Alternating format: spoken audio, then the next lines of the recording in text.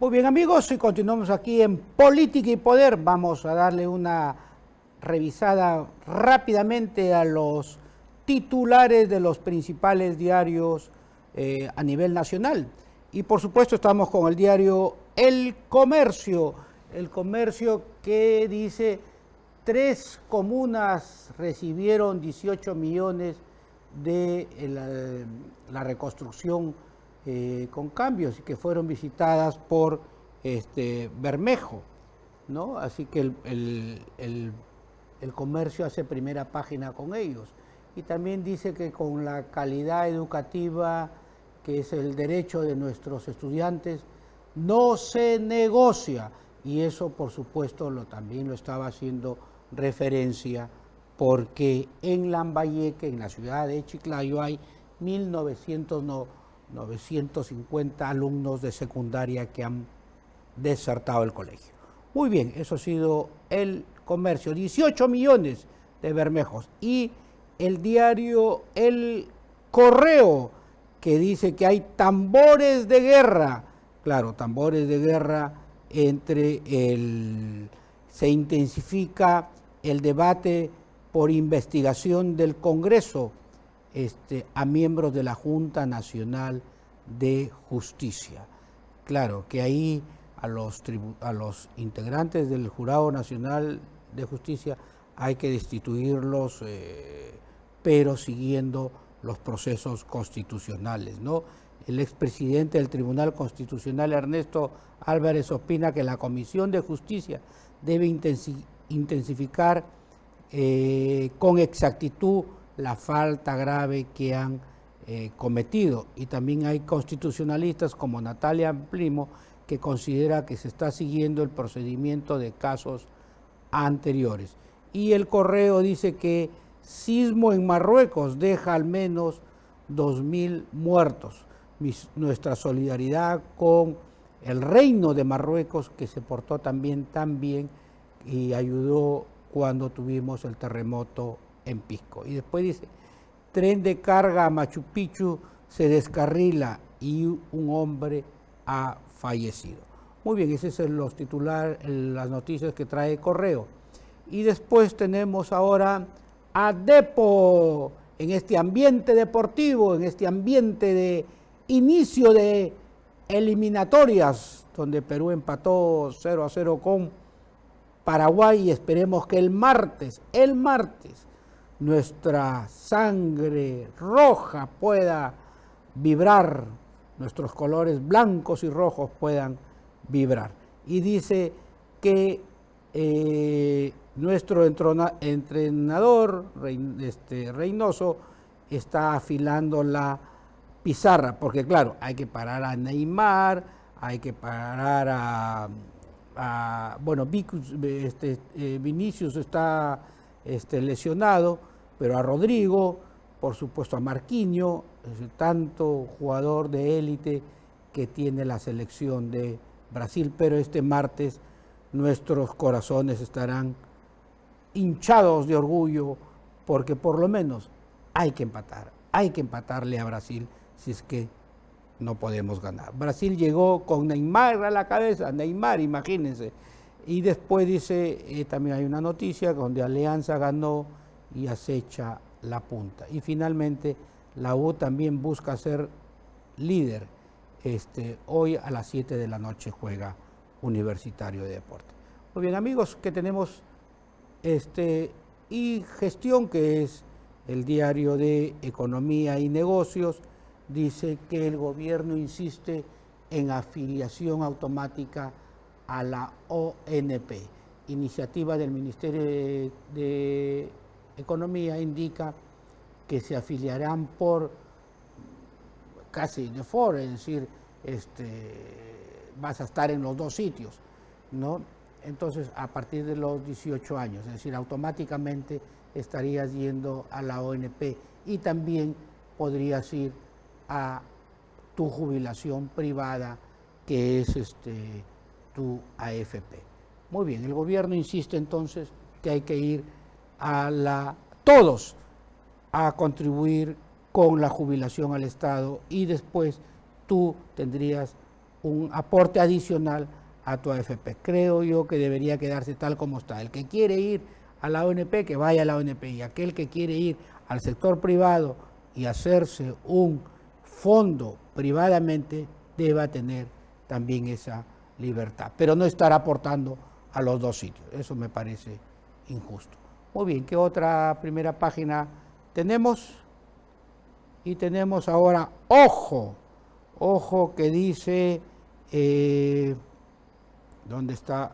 Ojo, ojo, ojo, dice, negocios ganan con Perú, comerciantes y empresarios gastronómicos incrementan sus ventas gracias a la bicolor. Claro, pues los restaurantes, los, los bares, ¿quién no quiere tomarse una chelita en un ambiente gritando los goles?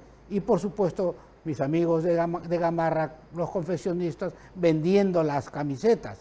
Hay que hacer efectivamente eh, un ambiente familiar, un ambiente de entusiasmo con la selección y además ganarse alguitos empresarialmente.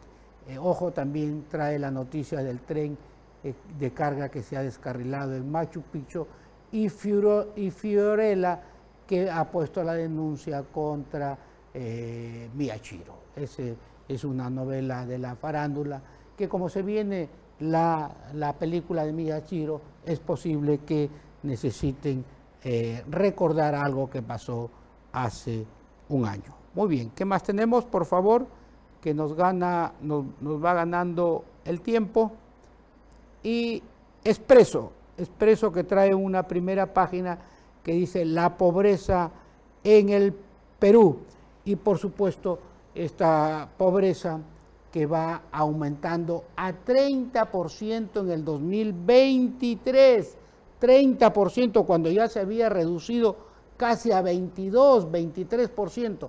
7% ha aumentado la pobreza y eso no se puede permitir. Eso es simplemente eh, incapacidad del gobierno de generar un ambiente de estabilidad, de generar un ambiente de credibilidad para invertir.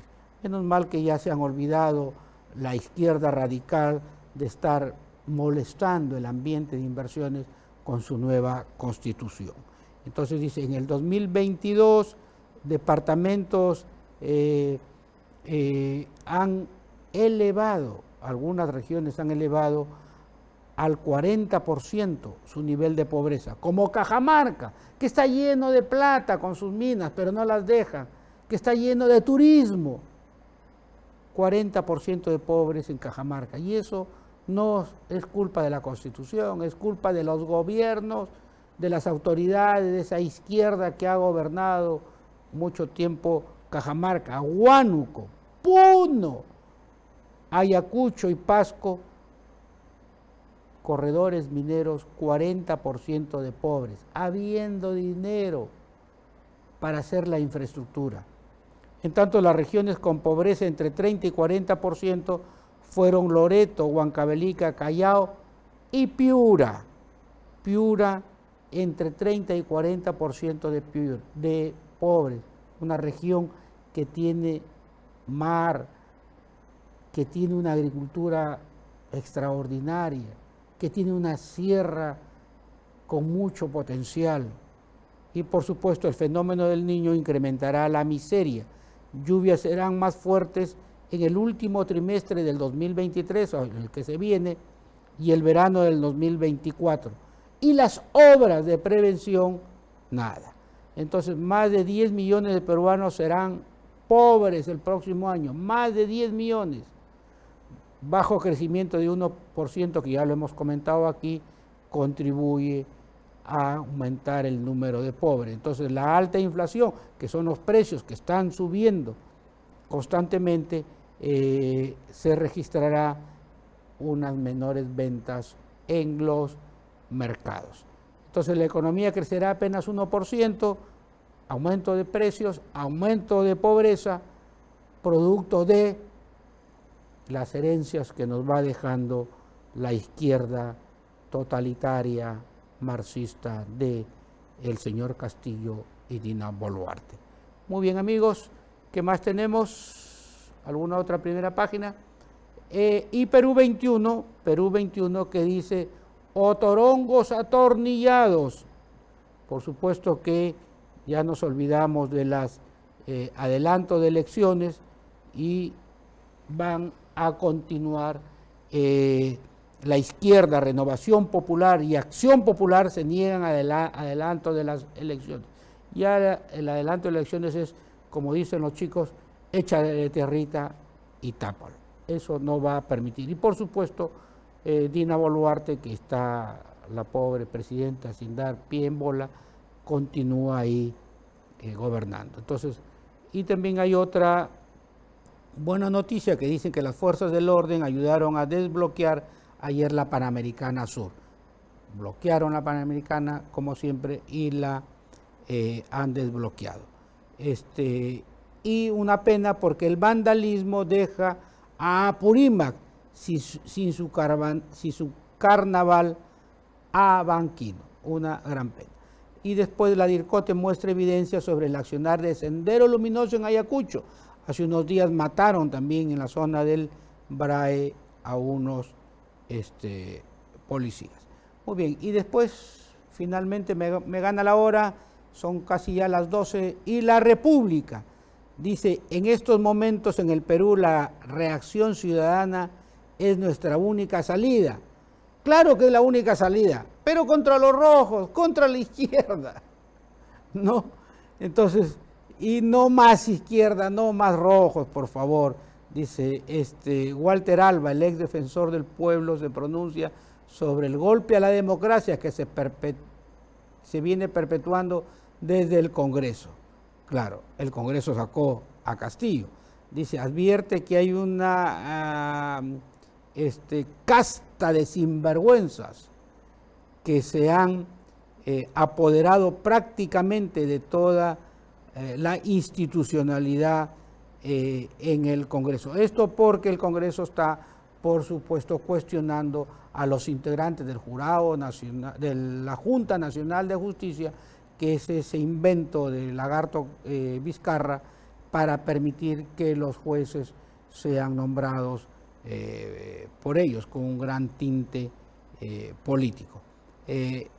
muy bien amigos, y también hay una noticia que dice cuestionan medidas del gobierno por el alza del limón. El limón bajó un poco su oferta producto de eh, fenómeno del niño. Muy bien amigos, este, me ha ganado el tiempo, son más de las 12 del día. Despedirme este, hoy domingo y me voy a mi querido Ferreñafe. Me voy a mi querido Ferreñafe a comerme una exquisita causa fe reñafana y todavía tenemos el mantel largo porque mi madre estuvo de cumpleaños la semana pasada. Muy bien amigos, hasta el próximo domingo. Muchas gracias.